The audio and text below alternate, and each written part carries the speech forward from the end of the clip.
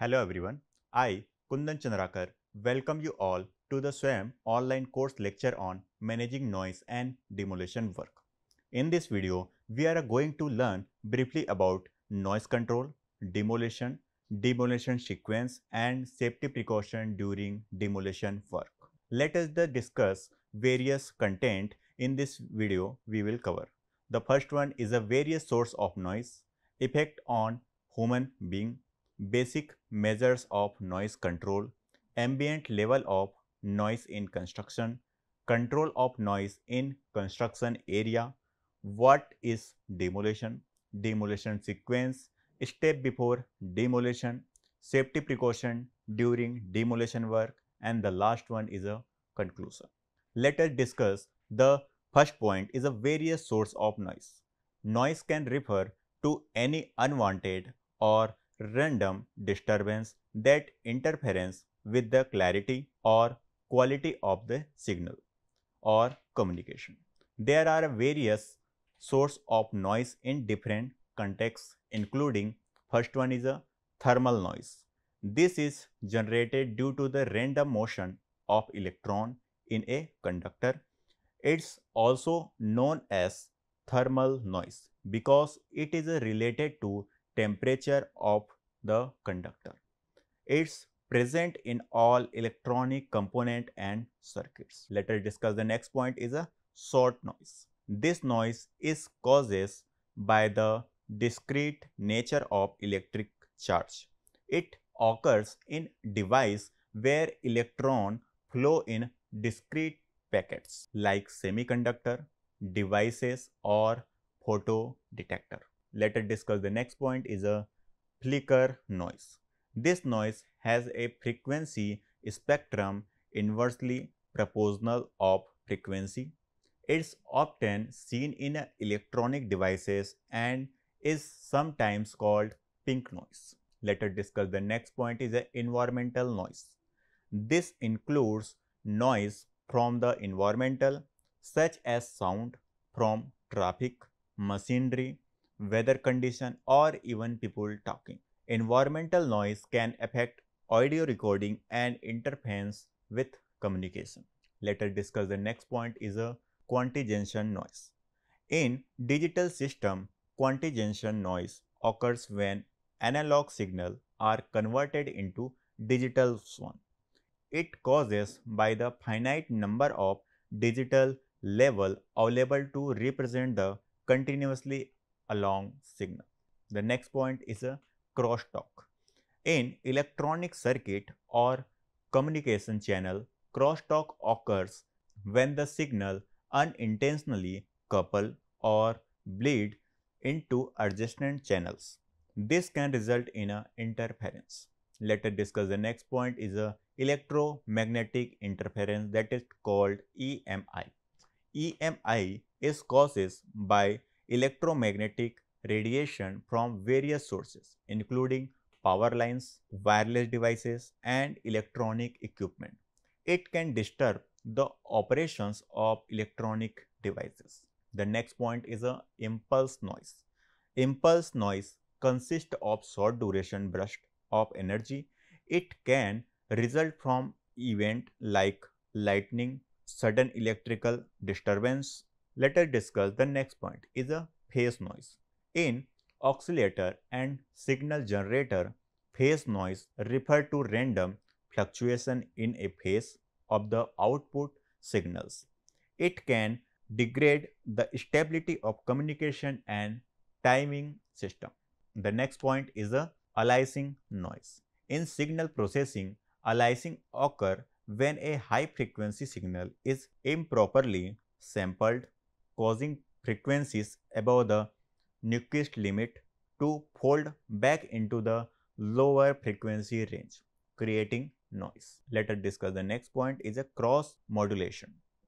In the context of radio communication, cross modulation occur when the modulation from one signal affect other leading to interference. Let us discuss the next point is a acoustic noise. In audio and communication system, acoustic noise refer to unwanted sound such as background noise, wind noise in microphone or distortion in audio playback. The next point is a jitter. Jitter is the variability in the timing of signal edge in digital data transmission. It can cause data errors and affect communication quality. There are just some example of noise source in various domains. Noise reduction and mitigation technique are often employed to minimize the impact of noise in electronic circuits, communication, audio system and other applications. Here are the chart, the various source of industrial noise pollution.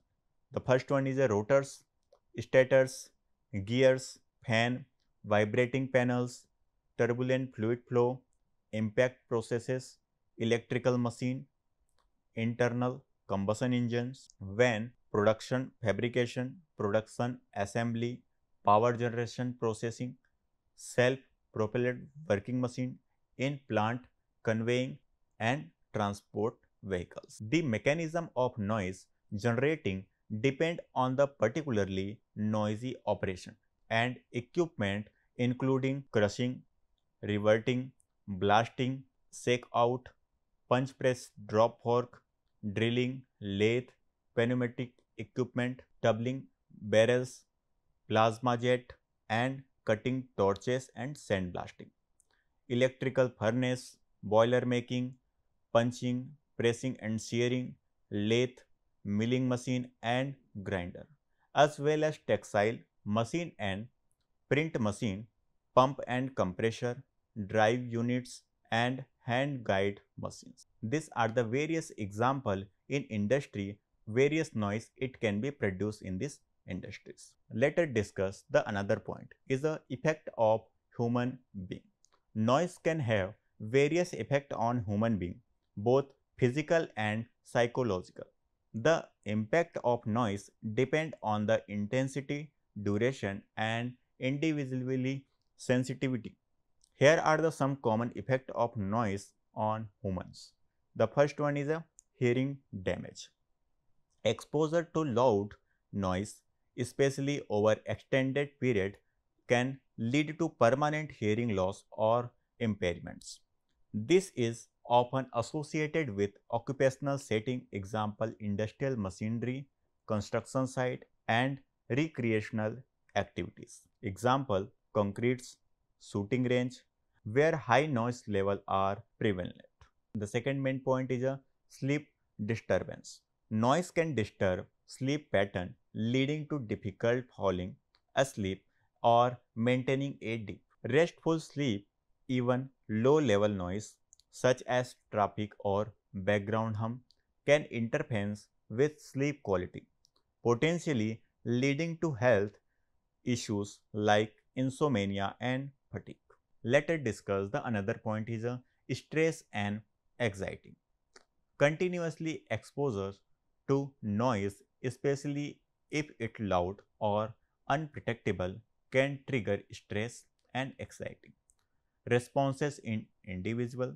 This can result in increased heart rate, elevated blood pressure, and the release of stress hormones like cortisol. Let us discuss the next point is a impaired concentration and cognitive performance. Noise can hinder concentration, focus, and cognitive performance. In work or study environment, excessive noise level can reduce productivity and impair decision making abilities. The next point is a cardiovascular effect. Prolonged exposure to noise, particularly chronic noise population, particularly chronic noise pollution, has been linked to an increased risk of problems and including hypertension, high blood pressure, heart disease and stroke. Let us discuss the next point is a negative emotional impact. Noise can cause irritation, annoying and frustration, leading to negative emotions and potential conflict among individuals. This is especially relevant in densely populated urban area where noise pollution is common. Let us discuss the next point is a hearing impairment in children. Noise exposure during early childhood can have long-term consequences on hearing heart, long-term consequences on hearing health. Children exposed to high-level noise may experience development delays in speech and language skills. Let us discuss the next point is a tinnitus. Tinnitus is a condition characterized by a persistence, ringing, buzzing and humming sound in the ear, often associated with exposure to loud noise. It can be temporary or chronic and can significantly impact an individual's quality of life. The next point is a hearing protection measure. In noisy environment, people may need to use hearing protection device like ear earplug or ear muff to prevent hearing damage. It's important to note that individually tolerance to noise varies and what one person find bothersome, another may not. Additionally, regulation and guidelines regarding acceptable noise level and exposure limit are in place in many other countries to mitigate the harmful effect of noise pollution. Efforts to reduce noise pollution and create quieter environmental especially in urban area can help protect human health and well-being. Let us discuss the another main point is the effect of noise and vibration on human beings. Affect peace of mind, social behavior and concentration. The second point is a causes discomfort, irritation and annoying. May cause hearing impairment, affect other psychological functions of the body, in totally disturb the lifestyle and affect the productivity. Let us discuss the four noise control mistake to avoid. The first one is a thinking that there is a no noise problem. NL greater than 85 dB in factory environmental and level as low as 55 dB in the classroom and studio should be considered as a problem. In generally, if consideration is difficult and treat is the serious noise issues. The second point is a not considering noise control during the design stage. Although all sorts of noise can be treated after installation, it generally twice as expensive and half as effective compared with designing proper noise control into the system before the noise source is installed. The third main point is a not sealing the air leaks. Sound always take the easiest path around or through a barriers. Construction gap or air leak are the easiest way for sound pass from one space to another. The fourth main point is not using a system approach to noise control. A common mistake in noise control effort is the failure to consider all possible noise path, all airborne and structure-borne noise path must be studied and treated accordingly. Let us discuss the basic measures of noise control. The first one is a absorption, second is a damping, third is a decoupling and the fourth one is a mass and the last one is a flow control. Let us discuss each and every point one by one. The first one is a absorption. Absorption by installing appropriate sound absorbing solution in the form of wall panel, false ceiling, carpeting. This is necessary for any serious soundproofing project. The second one is a decoupling. Decoupling to isolate wall from the stud, thereby breaking the direct path of sound by using resilient channel and sound clips. This decoupling technique add resilience to the wall. The third point is a damping. Is that the process of sound insulation by installing the non-vibrating death panel as barrier. Damping is improved by applying suitable compounds in between two concentrated layer. The next point is a mass. Simply means creating a heavier wall by using more another layer and the thicker material. And the next point is a flow control. Measures to avoid turbulence and resulting noise and vibrating in free flow of fluids in pipeline and ducts etc. Let us discuss the another point ambient level of noise in industry. The ambient level of noise in industry can vary significantly depending on the type of industry, the equipment and process involved and the specific location. Industrial noise is typically measured in decibels and the ambient noise level in industrial setting can range from relatively quiet to very loud. Here are some general guidelines. The first one is a the first one is a quiet industry. Some industry such as officer, research, lab and food processing facility may have relevant low ambient noise level, typically range from 40 to 70 dB.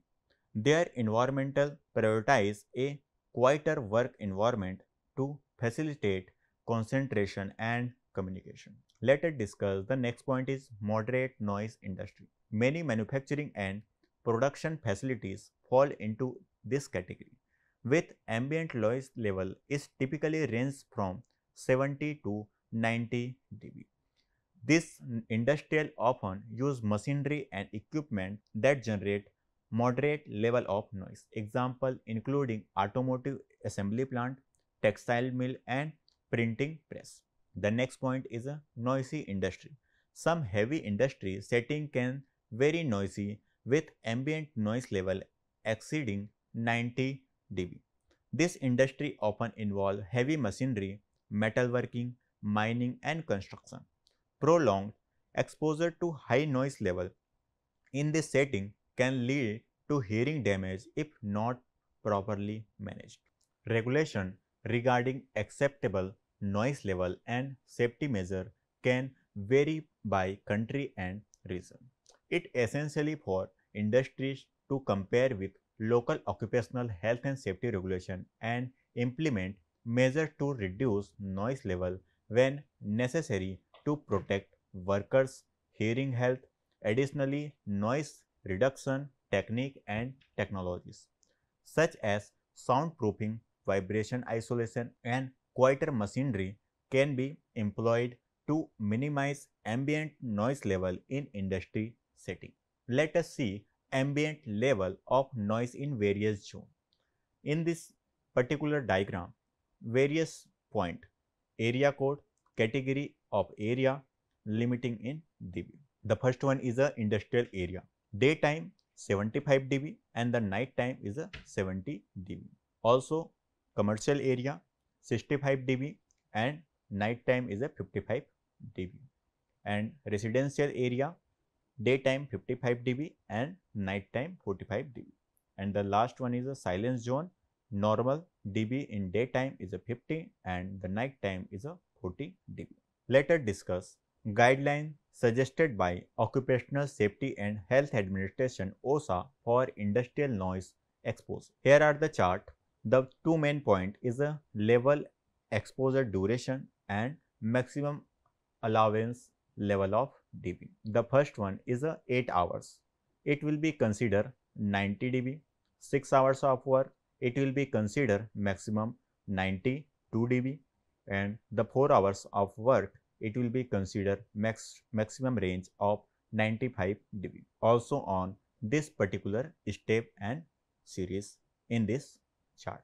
Let us discuss effect of noise at different decibel level. This chart represent the level of noise it can be harmful or not. The first one is below 65 dB, the effect of tolerable. The second is a 80 dB, the effect of annoying and irritating. And the third is a range of 88 dB, the effect of hearing distortion if prolonged exposure. And the last one is a 110 dB discomfort and may causes hearing loss and the above of 135 dB it will be painful effect. Let us discuss control of noise in construction area. Controlling noise in industrial settings is essentially to protect the health and well-being of workers, reduce the risk of hearing loss and minimize the impact on the surrounding environments. Noise control in industry typically involve a combination of engineering, administration and personal protective measures. Here are some strategy and technique to control noise in industrial environment. The first one is a engineering control. This control technique using various methods. The first one is a noise barrier. Erect barrier or enclosure around noisy equipment or processes to block the transmission of sound. This barrier can be made from material designed to obstruct or reflect sounds. The second is a sound insulation. Use sound insulating material and enclose to reduce noise emission from the machinery. This material can include acoustic panel, curtain or foam. The third is a vibration isolation. Install vibration isolation system to reduce the transfer of noise from vibration equipment to the surrounding structure. This may including using anti-vibration mounts or isolating equipment on vibration resist resistance foundations. And the next point is a machinery and equipment modification. Modify or replace noisy machinery with quieter alternative. Use maintenance and lubrication practices that reduce vibration and noise. The next point is a maintenance. Regular maintenance can prevent equipment from becoming noisier over time. Loose or worn part can increase noise level. The next point is a silencer. Install noise reducing device like a muffler or silencer on exhaust system and ventilation system. The next point is a noise dampening. Apply noise dampening material to equipment and surface to reduce sound reflecting and absorption. Let us discuss the next point is the administration control. The first topic is a shift scheduling. Stagger work shift or task involving noisy equipment to reduce overall noise exposure for worker. The second point is a job rotation. Rotation worker to different tasks to limit their exposure to high noise area. The third is a training. Train employed on the proper use of hearing protection and noise control procedure. And the next point is a noise monitoring. Conduct regular noise assessment to identify source of excessive noise and evaluate the effectiveness of the noise control measures. Let us discuss the third main point is a personal protective equipment. The first topic is a hearing protection. Provide worker with appropriate hearing protection such as ear plug or ear muff and ensure they are worn consistently in noisy area. The second point is a headphone with noise cancellation features. Some industries may benefit from using noise cancellation headphone that can actively reduce ambient noise. The next control point is a regulatory compliances. First one is a ensure compliance with local, state and federal regulation regarding the noise exposure limit and control measures. Next point is a noise mitigation plan. Develop a comprehensive noise mitigation plan that include strategy for reducing noise emission, monitoring and ongoing maintenance. Next point is the employees involvement. Involve employees in noise control effort by seeking their input and feedback on noise related issue and solutions. The next point is an environmental consideration. Consider the impact of industrial noise on the surrounding environment and communities. Engage with local authority and residents to address concern. Implementing a combination of this strategy tailored to specific need of your industrial facility can help effectively control noise and create a safer and more comfortable working environment for employees while complying with regulatory requirements. Let us discuss the demolition part. The first concern and the mind will be coming out what is demolition. Demolition refers to the process of tearing down or destroying building, structures and other man-made objects.